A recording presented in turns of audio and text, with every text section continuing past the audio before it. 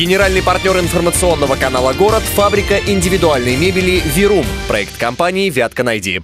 Все для самостоятельного изготовления шкафов-купе. Распил ДСП. Готовые к работе элементы из МДФ. Детали из стекла и зеркал любой сложности. Яркие фасады дверей. Фабрика индивидуальной мебели «Верум». 69 400. В Котельниче арестован 33-летний Сергей Сметанин. Молодого человека обвинили в убийстве собутыльника. По данным следствия, Сметанин ремнем задушил 63-летнего Василия Безденежных. Тело потерпевшего обвиняемый спрятал в подполье.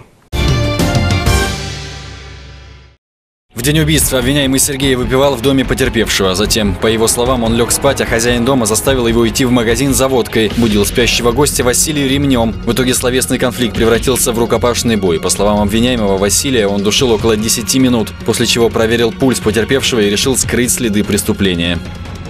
Вот так вот я его туда заталкивал.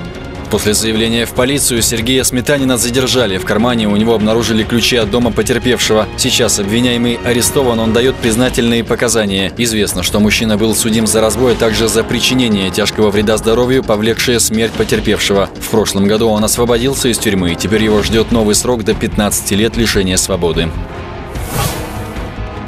20-летнюю серийную воровку задержали сотрудники полиции в Ленгасово. Девушка вошла в квартиру жительницы поселка и незаметно похитила у нее сумку с деньгами. Ущерб составил почти 14 тысяч рублей. Как стало известно, таким образом подозреваемая украла деньги не в первый раз.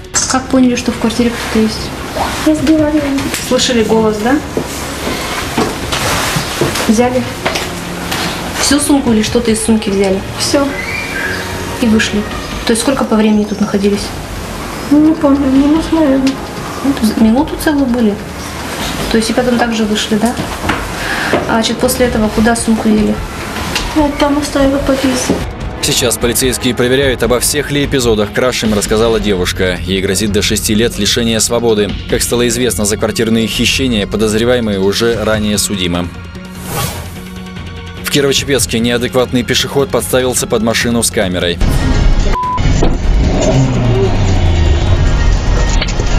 Будем что?